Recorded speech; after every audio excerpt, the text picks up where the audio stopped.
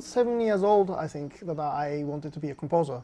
That's because of I was rebelling against um, my piano teacher, I must say, because my piano teacher was very strict and she wanted me to play exactly what the, the music I was learning at that time, which I didn't want it to do, um, just because I'm, I was rebellious.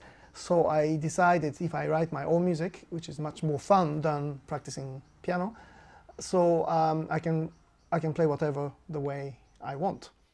So I was really into um, movie soundtracks, uh, especially horror movie, I must say, because that time, I don't know why actually, it's not that I was I was a big fan of horror movie, but the soundtrack I was really interested in. That's probably because of the only in the film music world, uh, I think that the horror movie is the only one, only way that uh, extended techniques and a new strange sound and so on uh, can be used as a film music. And then I really like that since uh, even when I was small.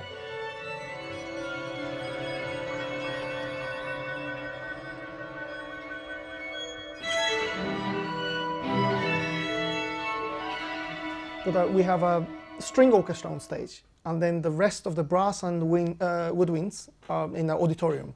And what I wanted to, um, and then also the solo bassoon is in the middle of the concert hall. And what I wanted to do there was that I, I wanted to create um, forest. Uh, but the funny thing is that I have a very strange relationship with nature because I'm a very allergic person and I I hate nature. I just I just don't want to go into the forest or any of those things, and uh, I don't even like the sound of birds, which is singing right now, um, because they never sing the way I like them to sing. So um, I think not just this piece, but uh, entirely uh, why I compose music is that uh, I, I, like to create a utopia, the, the, world I want to live in. In other words, I can control and I can design exactly how I want to live in that world. So for this secret forest is that uh, it's a forest, but there's no allergy problems for me, and it's the birds will sing exactly how I want them to, and so on. When they asked me to write a piece, the director told me, um, who's the conductor of this piece, Michel Cerutti, who is also percussionist in Ensemble Intercontemporain, he told me that, yeah, it's good, you know, you do whatever you want, of course, but, you know, maybe not bowing the you know, bowing the percussion instruments, I mean, that kind of thing, I'm not so sure, and so on. So, you know, it'd be good if you don't. So obviously I went home and wrote a section of um, not entire tw 12, but probably 11 percussionists are bowing entirely. And uh, that section is in the middle. That sounds to me, that part sounds to me, it's, yeah, um, sounds like uh, electronic mu music. For, for this disc, uh, it uh, includes um, some of the recordings from live performance, and then some of them are newly recorded in studio and uh, uh, NMC was really kind enough to let me edit um, everything, uh, everything apart from mastering. So, which is a great fascination for me because I mean that means I can, well, that means I can control everything, every sound, every noise, everything.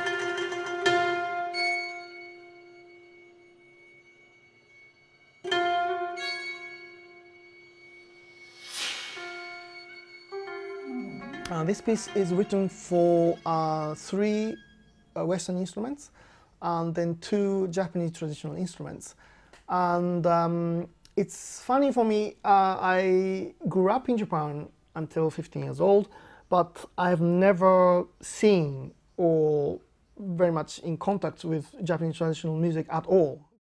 First I wrote Okeanos Breeze, which is the last movement of this five movement work and orchestra breeze which uh, um, uses the sho and koto which is sho is a mouth organ and koto is sort of zither which is Japanese traditional instruments and I had to actually go around those players house to houses to actually to learn or to see what what do they do.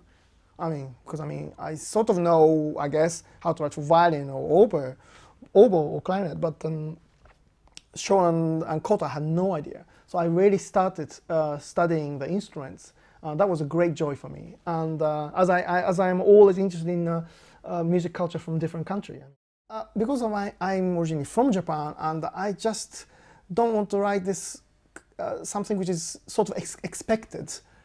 Meditative maybe, slow music and with a gong ringing and so on, which is, which is, which I think is sort of picture of a Japanese composer writing in the music world, um, which I don't want to do. And that's not uh, my nature anyway. I don't think so, but a lot of people think I'm quite an energetic guy. I speak very fast and so on. So um, my music should reflect, re reflect that, I think. And um, so I, I, think the way I try not to include those, I try to avoid exoticism also, of course. And uh, but the main reason is, as I said, it's a my utopia should not have border.